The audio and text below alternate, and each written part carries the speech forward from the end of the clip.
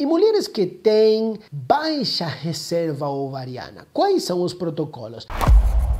Nessas pacientes, vamos utilizar diferentes protocolos. Um, protocolos convencionais, aquela baixa reserva ovariana que, quando vamos fazer uma avaliação com ultrassom, nós vemos, por mais que ela tenha um hormônio antimuleriano em de 0,7 ou mais, 0,7 ou maior, essa paciente, talvez, se tem muitos folículos, tenha benefício de dosagens altas, ou seja, 225 ou mais, um tratamento de FIV convencional ou uma mini FIV utilizando dosagens mais altas, o que a gente chama de mini FIV Plus. Por que Plus? Porque é uma mínima estimulação, mas é uma mulher que terá mais do que 4 ou 5 óvulos. Então eu preciso, e como sempre falamos, na mini FIV, checamos os níveis hormonais, sabemos onde que ele está, onde que eu quero chegar. E o mais importante é saber onde que eu quero chegar para estimular aquele número de folículos. E isto a chave dos protocolos de estimulação. Quais são outras possibilidades, além da FIV convencional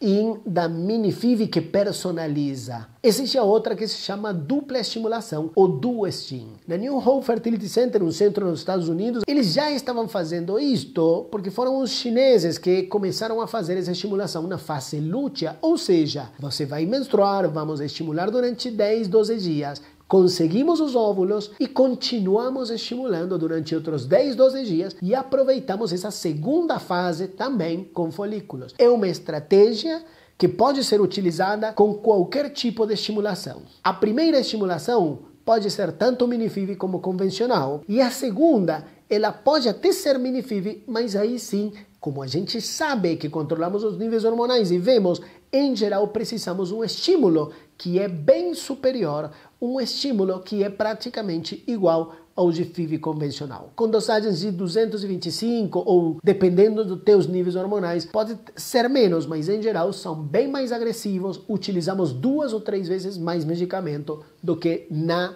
primeira fase.